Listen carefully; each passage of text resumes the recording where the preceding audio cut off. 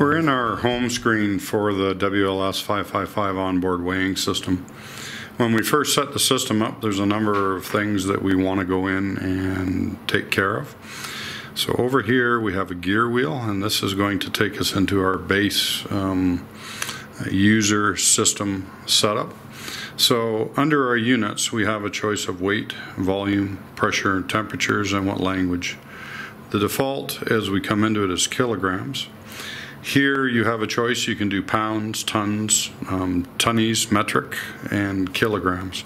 So today we're going to be working with tons, so I just come in and select that. From a volume standpoint, I uh, have cubic meters, uh, cubic yards, and uh, cubic feet.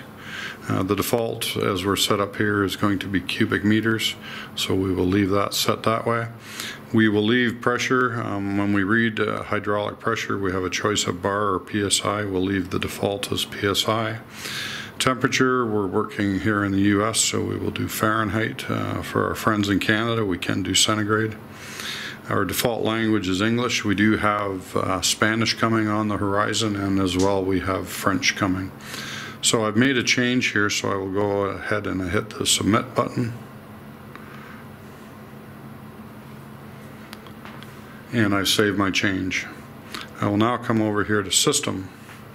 In the system, I have machine ID, I have calculate price, so if I want to show pricing on any of my tickets, uh, I simply go over and turn that on. And these are all user selectable fields. I can put in a sales tax rate, so I'm going to come in here and on my sales tax rate, I'm going to put 8.25 and I will go ahead and we will save that.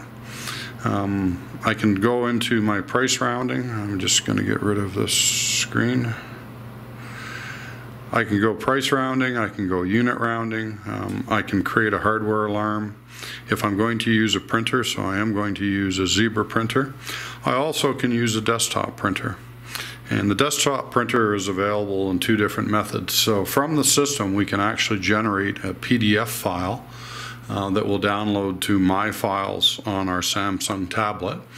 As well, I can go out and I can, if I'm within 300 feet uh, of the machine to a scale house, I can go to a desktop printer so I can set up a Brother, an HP, uh, a wide range of printers. Uh, in this case, we're not going to set it up, but the facility is there to print directly from the machine to a scale house printer. I can come in and I can change an invoice. So where do I want my invoice? I want my invoices to start at a thousand. I'm going to back that up, change that to a thousand, and that is done. So now, when I print my tickets, we need to know whose information is going to show uh, on that.